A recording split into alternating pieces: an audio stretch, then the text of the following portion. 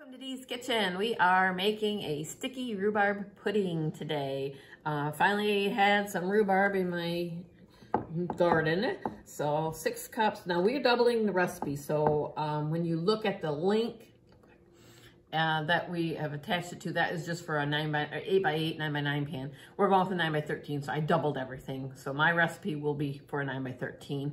The original that the lady has is for a smaller pan, but greased pan, six cups of rhubarb, throw it in the pan. We have two cups of flour, half a teaspoon of salt.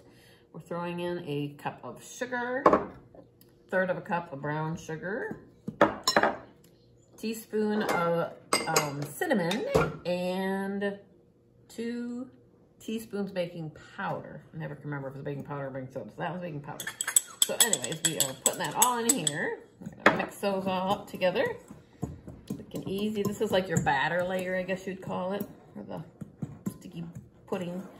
And then we are going to add in one and a third cups of melted butter, slightly cooled.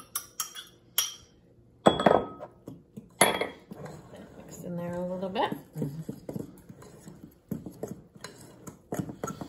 And then we also have two thirds of a cup of milk with, I can't see my recipe, a teaspoon of cinnamon, throw it in there too. I just put it right in there. Uh, make it easier. All right, so we're gonna mix this up. We're not gonna use a mixer today because then we, of course, you know, make a lot of noise when we do that. So we're just gonna use a fork. I like my forks, as long as it's not a real thick, thick, thick batter. All right, get that out of my way. I don't like that there.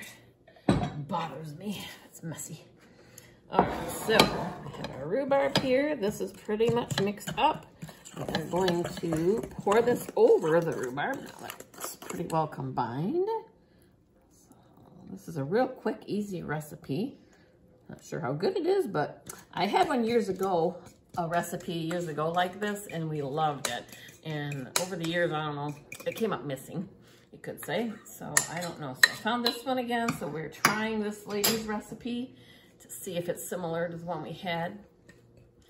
And you may find mine's modified a little bit because, yeah, you know, I can't follow a recipe very well. I like cinnamon. She didn't have cinnamon in it. I like brown sugar when I make rhubarb stuff, so I substituted some of the sugar with brown sugar. So that is on here. Look how pretty it looks already. Look at that. Alrighty in a nine by nine just isn't enough. I'm gonna make, make a mess and do this for an hour. I want enough to have leftovers. Hair's falling out, I can feel it. All right, so now we have in the next pan here, dirty mess here. I made a mess. We have two cups of powdered sugar and two tablespoons of cornstarch. And we're just gonna mix those together. Of fluff them up a little bit. You're you watching your video, buddy? And then we are going to scoop this over top of this. So just kind of, I'm to just sprinkle it.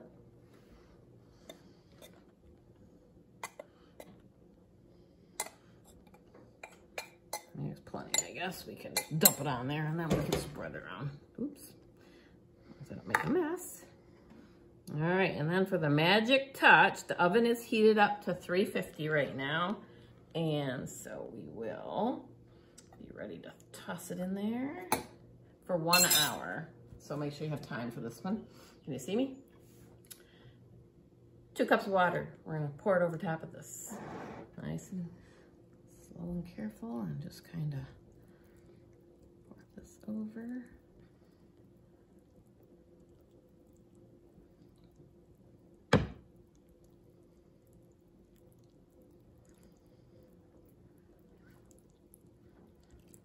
And there we go. So this is going in the oven, 350, one hour. We will be back to show you what it looks like when it comes out in an hour.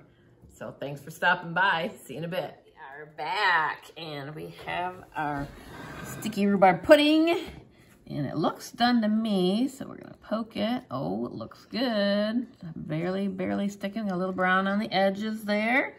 Looks wonderful. So it's a little hot, so we probably shouldn't cut any yet, but actually, do you want to take a picture of that first before I cut in it, or doesn't it matter? Zay likes to get the thumbnail picture of it. So um, we will stop and we will just take a picture. I was just, well, let me just hack a piece out here. And you could serve this with ice cream or um, Cool Whip. Look how gorgeous that looks. Look at that. put some of this gooey, and this will thicken up, I'm sure, once it cools down a little bit. But we'll uh, put a little bit in the bowl here. Oh, yeah. Looks yummy. So, thanks for stopping by Dee's Kitchen, and hopefully you'll make some sticky rhubarb pudding since you probably have rhubarb in your garden too. Have a great day. Thank you. Bye.